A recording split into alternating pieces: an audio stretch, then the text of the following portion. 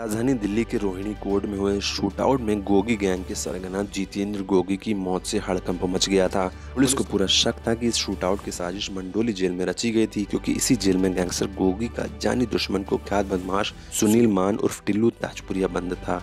उसे मंडोली जेल के high risk ward में रखा गया था। वहीं इसी जेल में ताजपुरिया के कई गुर्गे भी बंद हैं, जबकि जितेंद्र की मौत के बाद उसका बेहद खास और number one sharp shooter Deepak फैल उर्फ़ बॉक्सर गोगी गैंग का नया सरगना बन गया था।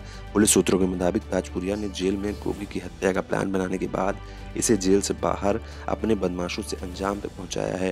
वहीं रोहड़ी कोर्ट शूटआउट के बाद जेल प्रशासन ने ताजपुरिया की सुरक्षा कड़ी कर दी थी, क्योंकि जितेंद्र मान उर्फ़ गोगी का number one sharp shooter Deepak उर्फ़ boxer उस समय फरार चल रहा था और उसके ऊपर दिल्ली पुलिस की स्पेशल सेल ने दो लाख रुपए का इनाम रखा हुआ था। बॉक्सर पर भी कई हत्या और जबरन उगाही के मामले दर्ज थे।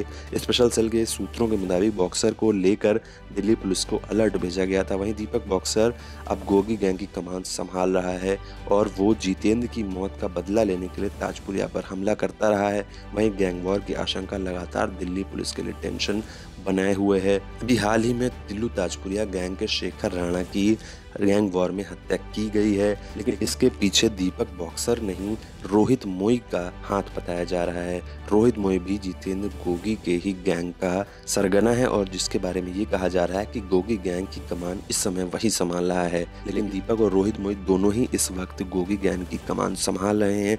कभी रोहित आदेश देता है तो कभी दीपक पहल बॉक्सर। आपको बता दें कि दिल्ली के रोहिणी कोर्ट में टिल्लू ताजपुरिया गैंग ने गोगी गैंग के गोगी मान को गोलियों से भून दिया था।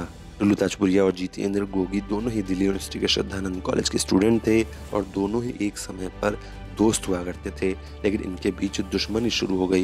यही नहीं, गोगी गैंग और टिल्लू ताजपुरिया गैंग के पिछले तीन से चार सालों में बीस से ज़्यादा गैंग वॉर हुए हैं, जिसमें करीब पच्चीस लोगों की मौत हो चुकी है।